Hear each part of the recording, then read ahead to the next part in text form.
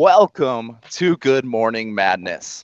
What does this mean for us? We face a lot of stereotypes, expectations, all kinds of things like that in this world. And I'd love to hear from you, Jonathan, around this concept of stereotypes and toxic masculinity, because mm. a lot of the times we have seen, even just in getting this show going in the Beast Node, of there's too much masculine energy. You need to tone it down. There's too much mm. of this, mm. and it's really weird conversation. Um, and I know Jonathan, you have a really ex- unique perspective of dealing with this, and would love to just kind of hear what type of stereotypes have you faced in your life, and how have you managed that?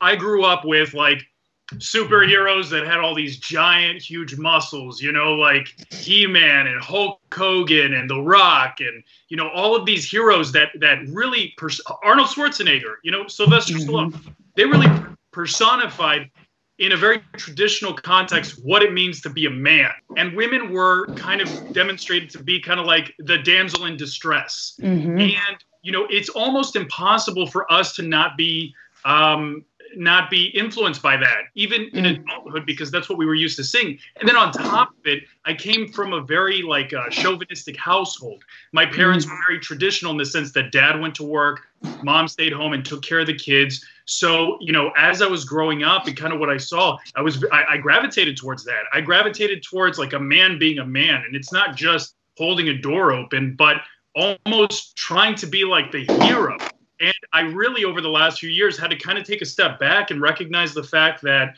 you know, these women can hold their own. We don't always need to be the hero of the story. We don't need to always be saving them, you know? This is madness. It's madness, I tell you. And it feels so good.